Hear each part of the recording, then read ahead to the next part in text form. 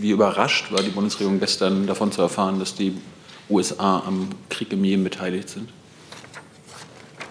Ja, Herr Jung, ich glaube, Sie lesen da etwas in die Erklärung herein, äh, dass da so, äh, wie Sie es zuspitzen, nicht drinsteht.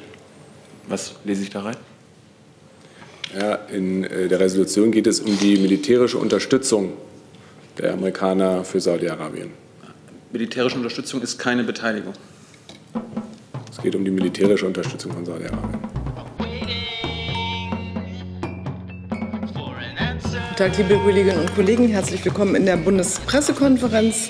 Herzlich willkommen der stellvertretenden Regierungssprecherin, Frau Wietz, sowie den Sprecherinnen und Sprechern der Ministerien. Und es gibt noch neue Informationen und es gibt das Wochenprogramm, nehme ich an, als Auftakt. Genau, wie immer am Freitag die öffentlichen Termine der Kanzlerin in der kommenden Woche. Und äh, das kann ich recht kurz machen heute. Am Mittwoch findet wie üblich um 9.30 Uhr die Kabinettssitzung unter Leitung der Bundeskanzlerin statt. Und außer der Kabinettssitzung finden in der Vorweihnachtswoche keine weiteren pressenöffentlichen Termine der Kanzlerin statt.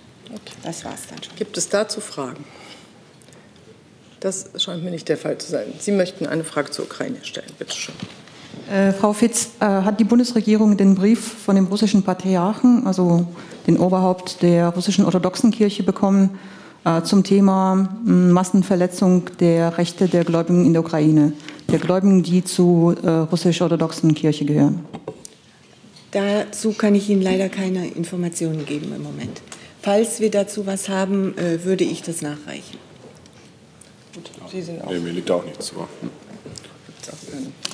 Bitte schön. Ukraine nochmal? Oder gibt es noch Fragen zur Ukraine? Nein, dann bitte geht's weiter. Ja, ich habe eine Frage ans Auswärtige Amt. Äh, Das Parlament des Kosovo entscheidet heute über die Aufstellung einer regulären Armee. Serbien droht indirekt mit einer Intervention. Ähm, können Sie uns dazu eine Reaktion geben oder eine Einschätzung der Lage und vielleicht auch noch an den Sprecher des Verteidigungsministeriums? Was hat das für Auswirkungen auf die Bundeswehr im Kosovo?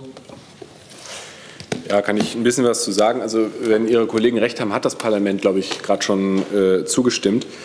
Äh, grundsätzlich ist unsere Position, äh, dass das Kosovo als souveräner Staat das Recht hat, äh, reguläre Streitkräfte zu schaffen. Allerdings haben wir auch immer wieder deutlich gemacht, dass die Umwandlung der sogenannten Kosovo Security Forces, wie sie jetzt heißen, nicht übereilt erfolgen soll, sondern in einem inklusiven Prozess unter Einbeziehung der kosovo-serbischen Minderheit und in enger Konsultation äh, vor allem natürlich der NATO und der NATO-Alliierten. Wir gucken uns die Gesetze jetzt genau an, äh, wie sie da durchs Parlament gegangen sind, wenn, wenn diese Meldungen stimmen.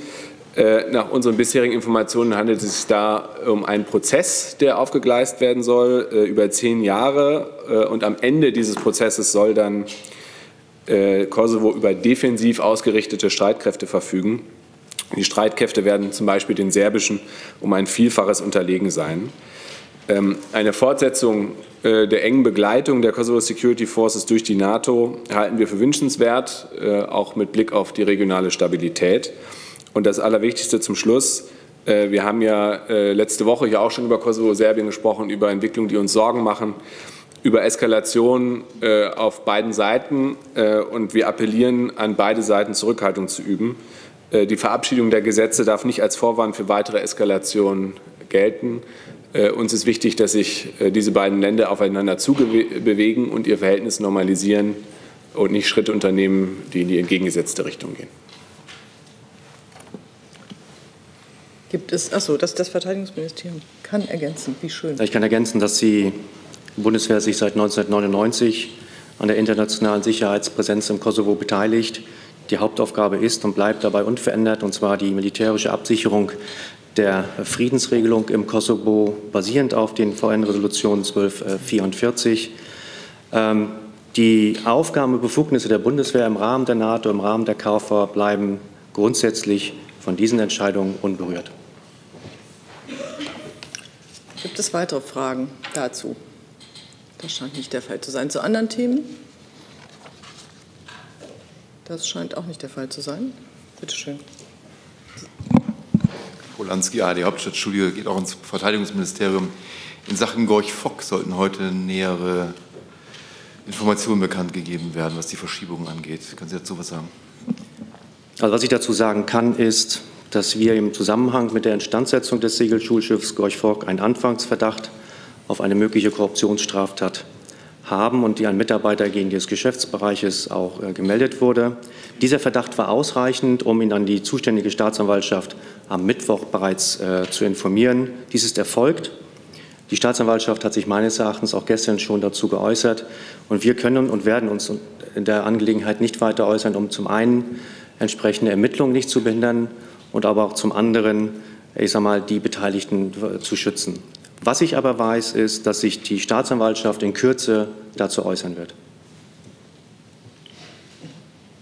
Weitere Fragen dazu? Das sieht nicht so aus. Herr Jessen?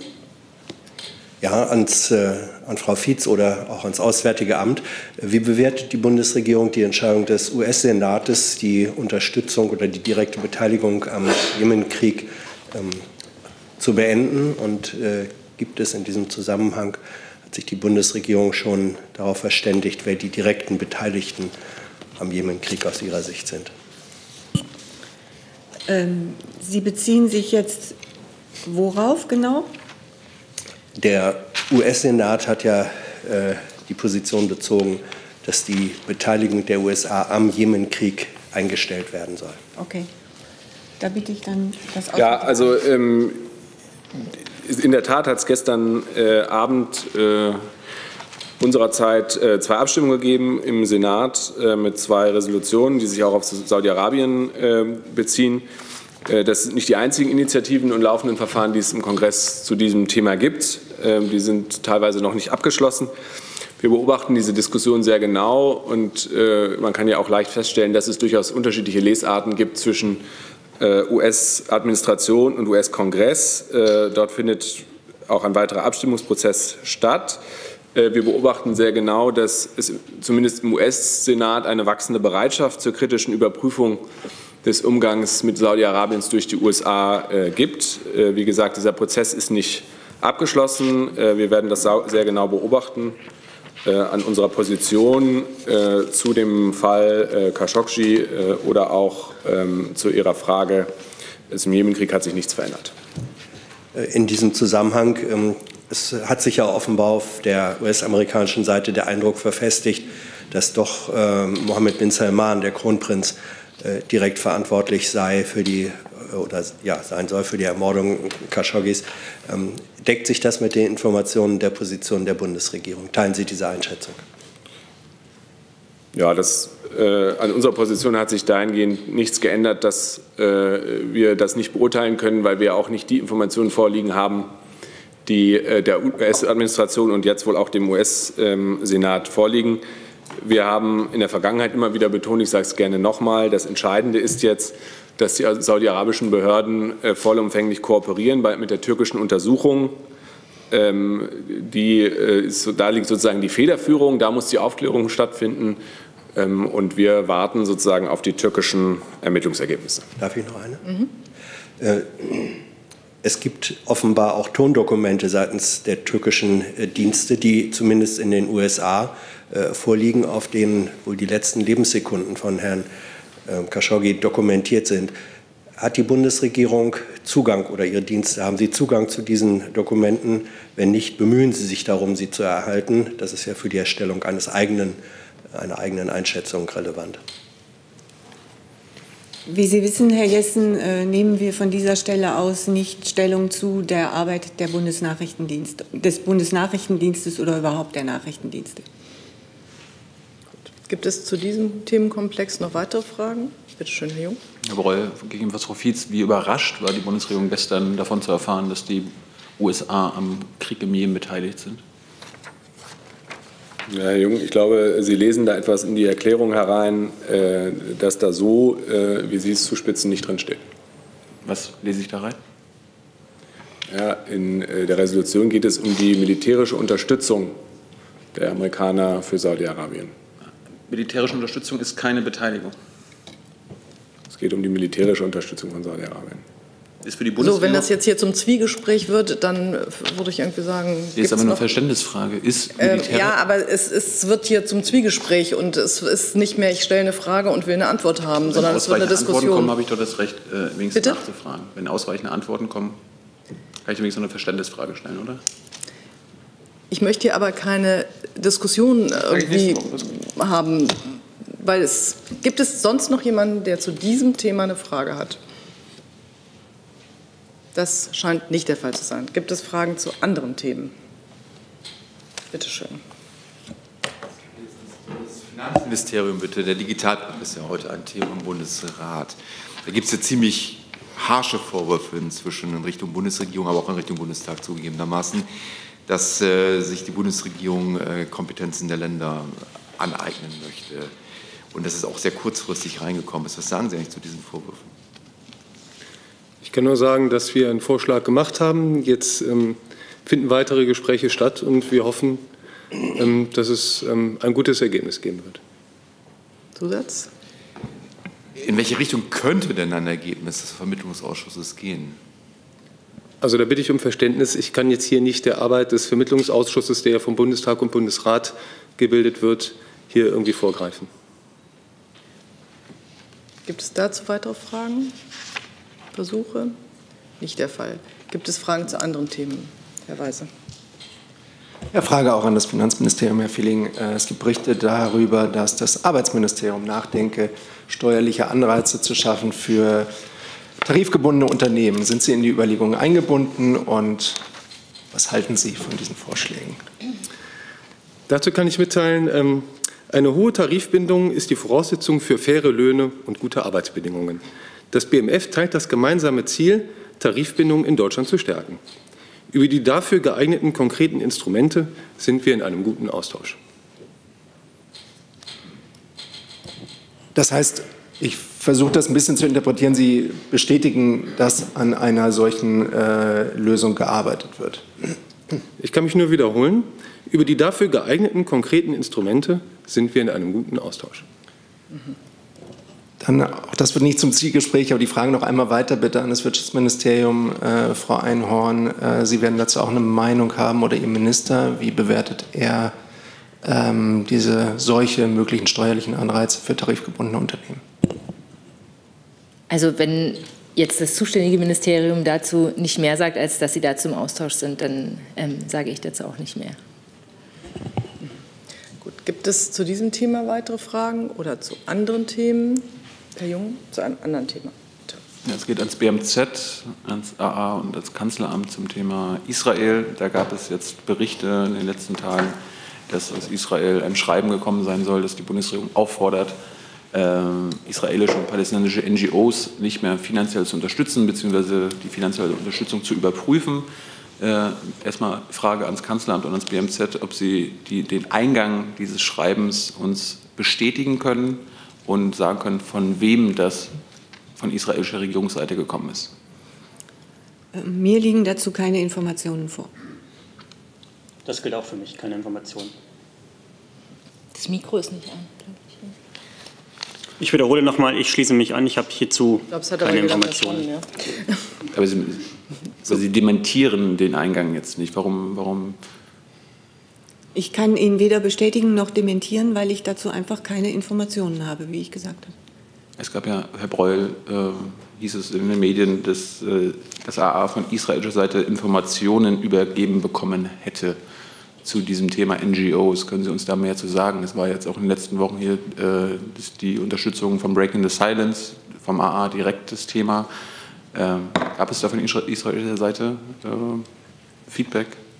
Also ich habe äh, Medienmeldungen gesehen, aus denen Sie zitieren, nachdem es angeblich ein Schreiben geben soll, das zum Kanzleramt übergeben würde. Das, Frau Fietz hat schon dazu Stellung genommen, da kann ich auch nicht mehr zu sagen. Herr Jessen? Ja, aber Sie, Sie lesen was, was Frau Fietz gar nicht äh, kommentieren will. Ja, Sie Wissen Sie denn, ob das wahr ist, was, äh, was da in den Medien Möchten Sie Herrn Jessen noch zu Wort kommen lassen? Also ich, Ja. oder äh, wie läuft das da jetzt? Dankeschön. Ähm, Frau Fietz, können Sie versuchen, uns nachzuliefern, ob ein solches Schreiben, ein solches Begehren seitens der israelischen Regierung bei der Bundesregierung äh, angekommen ist. Wenn Sie sagen, Sie haben keine Informationen im Moment darüber, das kann ja sein. Aber es müsste sich doch eruieren lassen, ob die israelische Regierung, auf welcher Ebene auch immer die Bundesregierung gebeten hat, dafür zu sorgen, nach ihren Kräften, dass Organisationen, zu denen zum Beispiel das Jüdische Museum gehört, der, wozu die Berlinale gehört, wozu die Böll-Stiftung gehört, dass die ihre Unterstützung für israelische NGOs einstellen mögen. Das ist ja ein gravierender Vorgang und ich möchte doch sehr darum bitten, dass die Bundesregierung eruiert, ob ein solches Schreiben eingegangen ist und wie sie sich dazu verhält. Geben Sie mir eine Sekunde, dann schaue ich, ob ich dazu noch äh, Informationen besorgen kann. Okay. Bitte schön, Herr Jung. Herr Breul, gegebenenfalls Frau Fietz oder Herr Berger, äh, hat die Bundesregierung Erkenntnisse oder Kenntnisse über sogenannte anti-israelische Tendenzen im Jüdischen Museum in Berlin, bei der Berlinale, bei Brot für die Welt, die Sie ja finanziell unterstützen?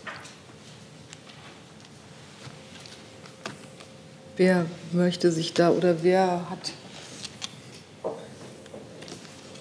Eindrücke oder keine Eindrücke oder kann sich äußern? Meine, äh, Erkenntnisse äh, hört sich jetzt hier nach äh, irgendwie polizeilicher Ermittlung an. Äh, dazu kann ich nichts beitragen, aber selbstverständlich, wie Sie wissen, äh, sind die von Ihnen genannten Organisationen äh, respektable deutsche Organisationen, mit denen wir seit längerer Zeit zusammenarbeiten und auch in Zukunft zusammenarbeiten wollen. Haben Sie schon Kenntnisse darüber, ob äh, das AA 2019 israelische NGOs wie Breaking the Silence oder B'Tselem unterstützt?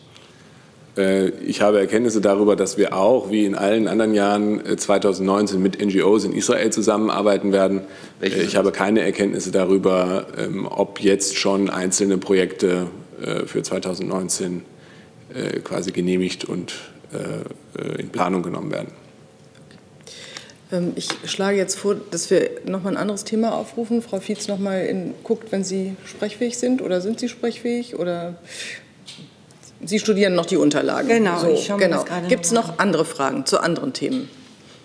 Möglicherweise. Dass wir vielleicht noch eine gute Zeit haben. Bitte. Herr Borrell, was machen die deutsch-türkischen Gefangenen, bzw. die deutschen Gefangenen in der Türkei? Haben Sie da einen aktuellen Stand? Äh, ja, ich habe einen aktuellen Stand, das ist allerdings der, den Sie kennen. Da haben wir keine Veränderung seit, seit dem letzten Mal, als Sie gefragt haben. Es sind immer noch fünf politische Gefangene. Korrekt. Also ich kann da jetzt grundsätzlich Ihnen was zu sagen. Die Bundesregierung und die israelische Regierung stehen in einem engen und regelmäßigen Austausch zu zahlreichen Fragen. In diesem Rahmen werden selbstverständlich auch Informationen ausgetauscht. Der Austausch umfasst unter anderem auch die Arbeit ausländischer Nichtregierungsorganisationen in Israel. Über die konkreten Inhalte der vertraulichen Gespräche mit ausländischen Regierungen werden grundsätzlich keine näheren Angaben gemacht. Grundsätzlich gilt, die Förderung einer lebendigen Zivilgesellschaft ist erklärtes Ziel deutscher Außen- und Entwicklungspolitik weltweit. Zur Unterstützung dieses Ziels fördert die Bundesregierung im Wege der Projektförderung nach Prüfung der außenpolitischen Unbedenklichkeit im Wege einer Einzelfallprüfung Projekte von Nichtregierungsorganisationen, die den außenpolitischen Grundsätzen der Bundesregierung entsprechen, zum Beispiel unter anderem den Schutz der Menschenrechte oder der Meinungsfreiheit. In Israel werden ausschließlich Projekte von Nichtregierungsorganisationen und Einrichtungen gefördert, die in Israel nach israelischem Recht registriert sind. Mehr kann ich Ihnen dazu leider nicht sagen. Herr Jessen? Ja, Nachfrage. Ähm, das Schreiben, dessen Existenz Sie weder bestätigen noch dementieren möchten, äh, hat dem Vernehmen nach einen Umfang von sieben Seiten. Das ist ja dann doch auch ein erheblicher Umfang. Besteht die Chance, dass zu einem späteren Zeitpunkt Sie uns über die Existenz eines solchen Schreibens ähm, in Kenntnis setzen? Auch der Weg scheint ein ungewöhnlicher zu sein.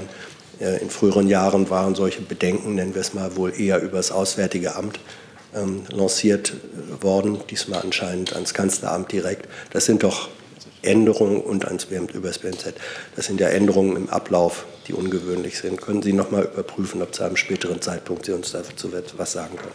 Sofern das der Fall sein sollte, würden wir uns melden. Okay. Bitte schön, Herr Junge. Gleiche Bitte an Herrn Berger. Können Sie uns bitte können Sie prüfen, ob das Schreiben eingegangen ist? Also Bescheid sagen, ja oder nein und von wem das gekommen ist.